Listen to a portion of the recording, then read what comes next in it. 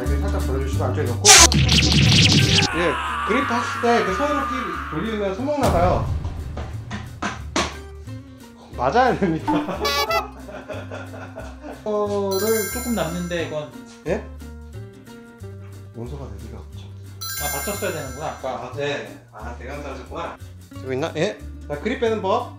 자, 이걸 에어를 사용해서 하시면 금방 쉽게 됩니다. 자, 이렇게 살짝 벌려주시고 안쪽에 넣고.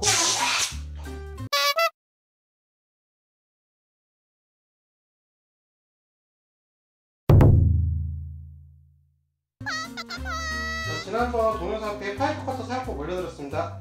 이게 삐뚤어, 이게 전 사용자분이 셋톱으로 잘랐나봐요. 예, 그러시면은 안 돼요. 그래서 최소한만 자르겠습니다. 조금 약간 이렇게 이 정도는 해줘야 돼요. 2mm 정도는 줘야지. 블루캐님 부탁드리겠습니다. 지난번 해보셨죠?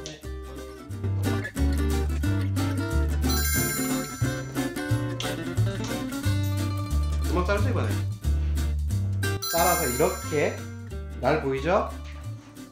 날이 있습니다. 이렇게 밀어주세요. 살살 힘주지 마시고 그냥 살살 됐습니다. 통통통 됐습니다. 깔끔하게 들어갔죠? 조립이 아 시원하네요 그냥 아주 시원합니다. 자 여기 거대한 시스포스트가 있죠? 자 이거 왜 자르냐고요? 너무 길기 때문에 무게도 무겁고 그래서 경량화 목적으로도 많이 자릅니다. 그래서 좀 잘.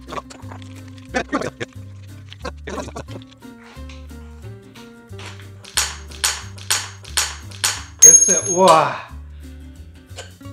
됐습니다. 커팅 이렇게 두꺼운 거 처음 봤어요.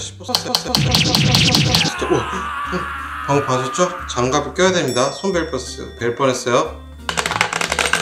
장갑 안 꼈으면 저를 피봤습니다. 야 됐습니다. 시스포스트 커팅이 완료됐어요. 안녕하세요 이온입니다. 시청해주셔서 감사합니다. 다음에 또 만나요.